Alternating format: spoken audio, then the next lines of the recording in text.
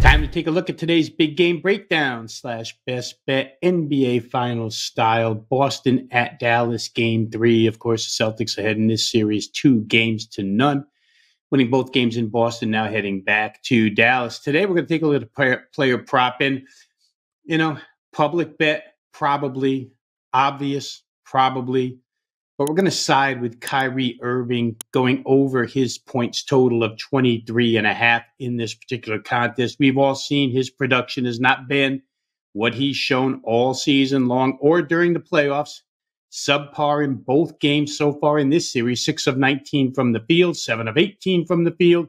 Horrendous 0 for 8 from three point range. He's only shot two free throws. All of that, you know, we've had three days to listen to it. Everybody knows it. In let's look at what favors this prop bet, um, especially when you're looking to go over. Kyrie's certainly getting the minutes 36 30 in game one, 36 minutes, 30 seconds um, before he got pulled in what was a blowout. Plays 41 minutes, 21 seconds in game two. He's going to get the time on the floor. He's certainly getting the shot attempts, 18 and a half per game in the first two. Compared to his regular season average of 19 and a half, he's just about there. Um, it's better than what he's been getting in the playoffs, actually, 17.7. So you're going to get the minutes, you're going to get the shot attempts. All you can ask for in these overplays is opportunities, scoring opportunities.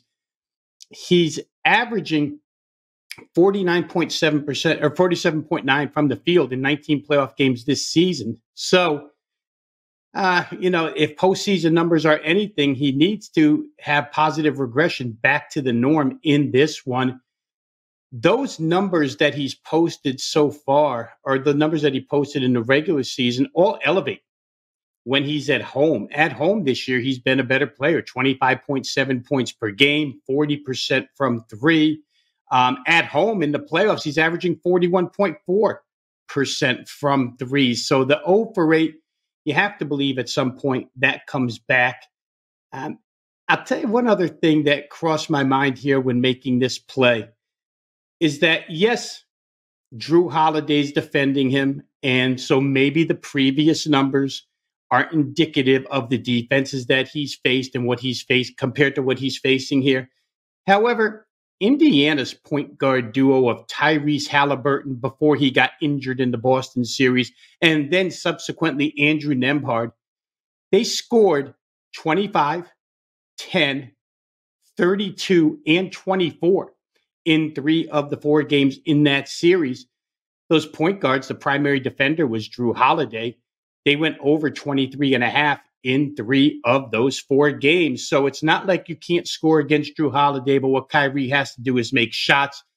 I think eh, the final look in this one is pretty simple. The situation is one where Dallas is in desperate need for Kyrie to shoot and score significantly better than he has the results show that he's going to get the necessary minutes and necessary opportunities to exceed tonight's posted number. He's put up better stats at home. His his home averages are all better.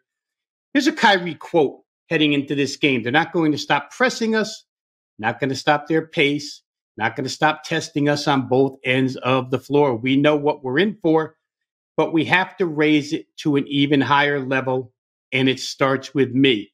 You could take him at his word, or you could say that's just players speak. I'm going to take him at his word and look for a bounce back effort here off of a pair of uncharacteristic efforts from one of the Dallas backcourt stars in that tandem. Going to look for Kyrie Irving to go over 23 and a half points. Um, Vig here is minus 110, so you're not play, playing any price to play this one. Once again, Kyrie Irving tonight over 23 and a half points minus 110. That's your best bet for today from NBA at WagerTalk.